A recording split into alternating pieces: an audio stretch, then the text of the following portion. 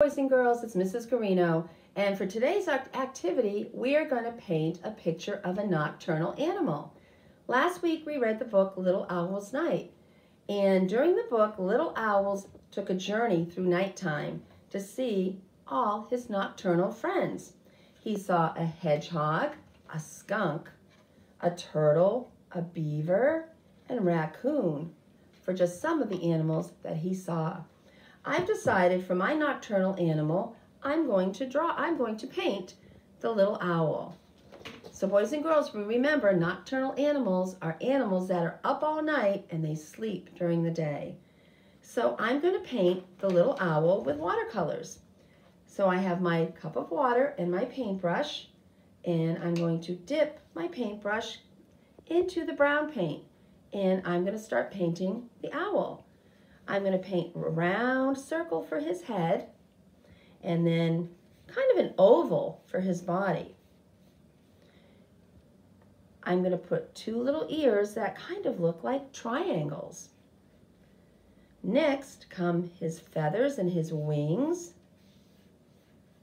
And at the bottom, I'm going to paint his talons, his very sharp feet. Next, I'm going to add his eyes. Owls have very good night vision.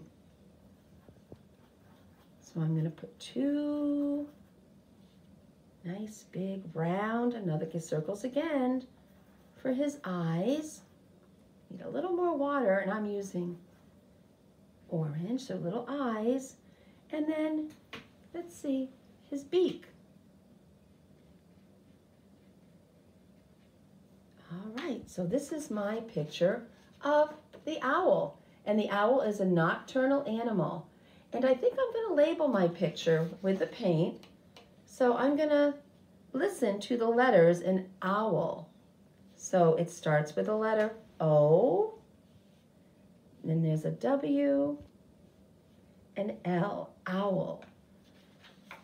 So here's my picture a watercolor painting of the owl, which is a nocturnal animal, and then I labeled OWL for owl. So boys and girls, what nocturnal animal are you going to pick to paint today? Have a great day, and I'll see you on the computer.